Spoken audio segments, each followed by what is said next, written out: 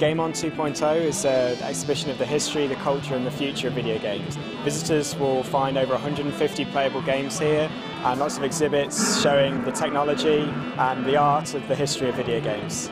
So the exhibit has a lot of cross-generational appeal. There's that really big nostalgia factor when you come in. So adults might have stories for their kids. Oh, when I was your age, I used to play this game at an arcade. And at the same time, kids can show off to their parents what they're playing.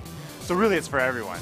Science museums and art museums are always looking at, uh, uh, for this perfect marriage and combination of arts and science. With the video games, it's the coming together of those two different disciplines to create a third entity and something new. I think you can learn a lot here actually um, of the way like games have developed over the years and like how technology is changing. I'm here with my physics class because we're learning about motion and projectile motion. It's truly interactive from 6 to 86. You know, there really is something for everyone in this show.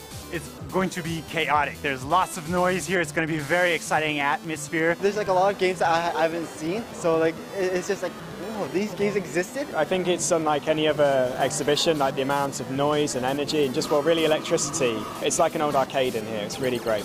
It's a lot of fun. Like I'm like 16, I'm excited to come here, so I think it's like fun for like all ages.